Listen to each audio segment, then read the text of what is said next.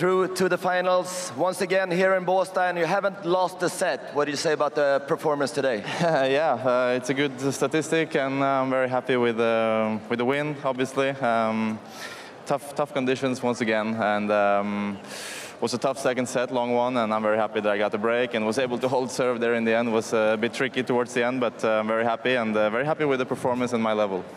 Do you feel uh, home crowd support here in Båstad? Yes, for sure. Uh, I have many family members, a lot of friends, and a lot of Norwegians here. Uh, so uh, it's it's great to play almost at home, and uh, it's this is the closest tournament to to where I'm born and where I live. So it feels uh, feels great to be playing here in front of the Scandinavian fans.